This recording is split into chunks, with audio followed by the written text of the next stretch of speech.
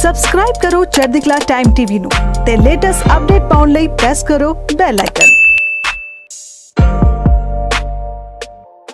ਔਰਤ ਨੇ ਬਜ਼ੁਰਗ ਵਿਅਕਤੀ ਦੇ ਜੜਿਆ ਥੱਪੜ। ਤੇ ਉਹ ਜਦੋਂ ਗੱਲਾਂ ਹੋਰ ਤਰ੍ਹਾਂ ਦੀਆਂ ਕਰਨ ਲੱਗ ਪਿਆ ਤੇ ਮੈਨੂੰ ਗੁੱਸਾ ਆਇਆ ਮੈਂ ਉਹਦੇ ਚਪੇੜਾ ਮਾਰੀਆਂ ਉਸ ਬੰਦੇ ਦੇ। ਸੋਸ਼ਲ ਮੀਡੀਆ ਤੇ ਵਾਇਰਲ ਹੋਈ ਵੀਡੀਓ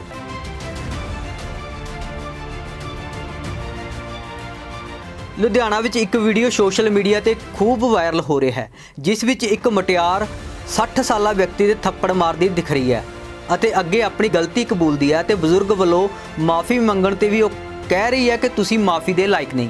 ਕੀ ਹੈ ਪੂਰਾ ਮਾਮਲਾ? ਆਓ ਤੁਹਾਨੂੰ ਦੱਸਦੇ ਹਾਂ। ਦਰਅਸਲ ਇਹ ਮਾਮਲਾ ਲੁਧਿਆਣਾ ਦੇ ਸ਼ਿਵਪੁਰੀ ਇਲਾਕੇ ਦਾ ਹੈ। ਪੀੜਤ ਲੜਕੀ ਅਨੁਸਾਰ ਸ਼ਿਵਪੁਰੀ ਖੇਤਰ ਵਿੱਚ ਇੱਕ ਬੇਕਰੀ ਹੈ ਤੇ ਉਹ ਇਸ ਬੇਕਰੀ ਦੀ ਗਾਹਕ ਹੈ। ਤੇ ਉਹ ਇੱਕ ਮੇਕਅਪ ਆਰਟਿਸਟ ਹੈ ਤੇ 2 ਮਹੀਨਿਆਂ ਬਾਅਦ ਉਹ ਅਕਸਰ ਆਪਣੇ ਗਾਹਕ ਦਾ ਕੰਮ ਕਰਨ ਲਈ ਉੱਥੇ ਜਾਂਦੀ ਸੀ। ਪਰ ਕੁਝ ਦਿਨ ਪਹਿਲਾਂ ਜਦੋਂ ਇੱਕ ਵਿਅਕਤੀ ਨੇ ਦੁਕਾਨ ਦੇ ਮਾਲਕ ਨੂੰ ਉਸ ਬਾਰੇ ਪੁੱਛਿਆ ਤਾਂ ਉਸਨੇ ਮੇਰਾ ਨੰਬਰ ਉਸ ਵਿਅਕਤੀ ਨੂੰ ਦੇ ਦਿੱਤਾ। ਔਰਤ ਦੇ ਅਨੁਸਾਰ ਬਾਅਦ ਵਿੱਚ ਉਸ ਨੂੰ ਪਤਾ ਚੱਲਿਆ ਕਿ ਉਹ ਵਿਅਕਤੀ ਉਸ ਨਾਲ ਸੰਬੰਧ ਬਣਾਉਣਾ ਚਾਹੁੰਦਾ ਸੀ, ਪਰ ਉਸ ਨੂੰ ਮਨਜ਼ੂਰ ਨਹੀਂ ਸੀ। ਜਿਸ ਤੋਂ ਬਾਅਦ ਪੀੜਤ ਲੜਕੀ ਨੇ ਦੋਸ਼ ਲਾਇਆ ਕਿ ਦੋਸ਼ੀ ਵਿਅਕਤੀ ਉਸ ਦੀ ਸ਼ਾਨ ਦੇ ਖਿਲਾਫ ਲੋਕਾਂ ਨੂੰ ਬੋਲਣਾ ਸ਼ੁਰੂ ਕਰ ਦਿੰਦਾ ਹੈ।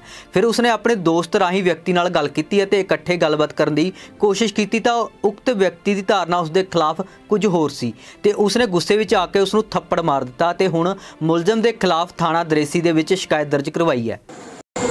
ਮੈਮ ਤੁਹਾਡਾ ਕੀ ਨਾਮ ਹੈ? ਤੁਸੀਂ ਅੱਜ ਰਾਤ ਨੂੰ ਸੁਣਦੇ ਹੋ ਖਾਣਾ ਕੰਪਲੇਂਟ ਲਿਖਾਣਾ ਕੀ ਕਰਨਾ ਮੇਰਾ ਨਾਮ ਗਾਮਨੀ ਹੈ ਸਰ। ਮੈਂ ਪਟਿਆਲਾ ਇਲਾਕੇ ਦੀ ਰਹਿਣ ਵਾਲੀ ਹਾਂ ਤੇ ਇੱਕ ਮੈਂ ਮੇਕਅਪ ਆਰਟਿਸਟ ਹਾਂ। ਮੈਂ 6 ਸਾਲ ਤੋਂ ਹੀ ਕੰਮ ਕਰ ਰਹੀ ਹਾਂ ਫ੍ਰੀਲੈਂਸਿੰਗ ਦਾ ਜੋ ਕਿ ਇੱਕ ਕਮਲ ਬੇਕਰੀ ਦੇ ਮੇਰੇ ਕਲਾਇੰਟ ਹੈਗੇ ਨੇ। ਮੇਰਾ ਉਹਨਾਂ ਕੋਲ ਆਣਾ ਜਾਣਾ ਹੈਗਾ ਅਕਸਰ।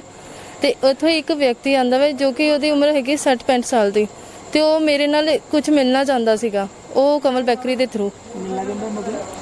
ਪਤਾ ਨਹੀਂ ਉਹ ਕੁਝ ਗਲਤ ਰਿਲੇਸ਼ਨ ਬਾਰੇ ਮਿਲਣਾ ਚਾਹੁੰਦਾ ਸੀਗਾ ਮੇਰੇ ਬਾਰੇ ਤੇ ਉਹ ਕਮਲ ਬੇਕਰੀ ਵਾਲਿਆਂ ਨੇ ਮੈਨੂੰ ਮੈਸੇਜ ਲਗਾਇਆ ਕਿ ਹਾਂ ਵੀ ਤੈਨੂੰ ਮਿਲਣਾ ਚਾਹੁੰਦਾ। ਮੈਂ ਗੱਲ ਨੂੰ ਇਗਨੋਰ ਕੀਤਾ। ਉਹ ਉਸ ਬੰਦੇ ਨੇ ਅਗਲੇ ਦਿਨ ਫਿਰ ਫੋਨ ਕਰਕੇ ਪੁੱਛਿਆ ਮੇਰੇ ਬਾਰੇ ਕਿ ਹਾਂ ਵੀ ਤੁਸੀਂ ਉਹਦੇ ਨਾਲ ਮੇਰੀ ਗੱਲ ਕਰਾਓ। ਕੀ ਕੀ ਗੱਲ ਕਰਨ ਨੂੰ ਕਹਿ ਰਿਹਾ ਸੀ ਉਹ ਮੇਰੇ ਨਾਲ ਗਲਤ ਰਿਲੇਸ਼ਨ ਬਣਾਉਣ ਦੇ ਬਾਰੇ ਗੱਲ ਕਰ ਰਿਹਾ ਸੀਗਾ। ਮੈਂ ਉਸ ਗੱਲ ਨੂੰ ਪਹਿਲਾਂ ਇਗਨੋਰ ਕੀਤਾ ਫਿਰ ਮੈਂ ਆਪਣੀ ਸਹੇਲੀ ਦੇ ਘਰ ਗਈ ਮੈਂ ਪੁੱਛਿਆ ਉਸ ਬੰਦੇ ਦਾ ਪਤਾ ਲਗਾਇਆ ਉਸ ਬੰਦੇ ਨੇ ਆਪਣਾ ਆਧਾਰ ਕਾਰਡ ਵਗੈਰਾ ਉੱਥੇ ਦੇਖ ਕੇ ਆਇਆ ਸੀ ਕਮਲ ਬੇਕਰੀ ਦੇ। ਤੇ ਮੈਂ ਫਿਰ ਉਹ ਬੰਦੇ ਬਾਰੇ ਪਤਾ ਲਗਾਇਆ। ਉਹ ਨਿਊ ਸ਼ੁਪਰੀ ਦਾ ਰਹਿਣ ਵਾਲਾ ਬੰਦਾ ਇੱਕ ਨੰਬਰ ਗਲੀ ਦਾ। ਮੈਂ ਬਸ ਮੇਰੀ ਸਹੇਲੀ ਉੱਥੇ ਰਹਿੰਦੀ ਇੱਕ ਨਿਊਸ਼ਪੁਰੀ ਦੇ ਵਿੱਚ ਮੈਂ ਉਹਨੂੰ ਫੋਨ ਕੀਤਾ ਤੇ ਮੈਂ ਉਹਦੇ ਘਰ ਗਈ ਤੇ ਉਸ ਬੰਦੇ ਨੂੰ ਉੱਥੇ ਬੁਲਾਇਆ ਜੋ ਕਿ ਉਹਦੇ ਨਾਲ ਗੱਲਬਾਤ ਕਰਨੀ ਚਾਹੀ। ਮੈਂ ਉਹਨੂੰ ਪੁੱਛਿਆ ਵੀ ਹਾਂ ਵੀ ਤੂੰ ਕਦ ਲਈ ਮੈਨੂੰ ਮਿਲਣਾ ਚਾਹਨਾ ਤੇ ਉਹਨੂੰ ਲੱਗੇ ਕਿ ਸ਼ਾਇਦ ਮੈਂ ਉਹਨੂੰ ਉਸ ਦੀ ਗੱਲ ਦਾ ਰਿਸਪੌਂਸ ਦਿੱਤਾ ਵਾ। ਤੇ ਉਹ ਜਦੋਂ ਗੱਲਾਂ ਹੋਰ ਤਰ੍ਹਾਂ ਦੀਆਂ ਕਰਨ ਲੱਗ ਪਿਆ ਤੇ ਮੈਨੂੰ ਗੁੱਸਾ ਆਇਆ ਮੈਂ ਉਹਦੇ ਚਪੇੜਾ ਮਾਰੀਆਂ ਉਸ ਬੰਦੇ ਦੇ। ਫਿਰ ਉਹਨੇ ਆਪਣੀ ਗਲਤੀ ਮਾਫੀ ਆਪਣੀ ਗਲਤੀ ਉਹਨੇ ਮਾਫੀ ਮੰਗੀ ਆ। ਜਦੋਂ ਉਹਨੇ ਆਪਣੀ ਗਲਤੀ ਮਾਰੀ ਫਿਰ ਤੁਹਾਨੂੰ ਅੱਜ ਇੱਥੇ ਕਿਉਂ ਆਣਾ ਪਿਆ? ਜਦੋਂ ਮੈਂ ਗੱਲ ਰਫਾ ਦਫਾ ਕਰ ਦਿੱਤੀ ਉਸ ਬੰਦੇ ਨੇ ਅਗਲੇ ਦਿਨ ਫਿਰ ਮੇਰੇ ਬਾਰੇ ਗੱਲਾਂ ਉਛਾਲਣ ਦੀ ਕੋਸ਼ਿਸ਼ ਕੀਤੀ। ਮੇਰੀ ਮੇਰੀ ਸ਼ਾਨ ਦੇ ਖਿਲਾਫ ਗੱਲਾਂ ਕਰ ਰਿਹਾ ਉਹ। ਤੁਸੀਂ ਉਹਨੂੰ ਤੇ ਕੀ ਕੰਪਲੇਂਟ ਦੇਣਾ ਤੇ ਕੀ ਜਾਣਨਾ ਹੈ ਮੈਂ ਚਾਹੁੰਦੀ ਹਾਂ ਕਿ ਉਹਦੇ ਖਿਲਾਫ ਜੋ ਵੀ ਬੰਦੀ ਕਾਰਵਾਈ ਕੀਤੀ ਜਾਵੇ ਮੈਨੂੰ ਇਨਸਾਫ ਮਿਲਣਾ ਚਾਹੀਦਾ। ਜੇ ਇੱਥੇ ਤੁਹਾਨੂੰ ਇਨਸਾਫ ਨਹੀਂ ਮਿਲਦਾ ਫਿਰ ਤੁਸੀਂ ਅੱਗੇ ਵੀ ਕਿਤੇ ਕਰ ਮੈਂ ਅੱਗੇ ਵੀ ਕਾਰਵਾਈ ਫਿਰ ਕਰੂੰਗੀ।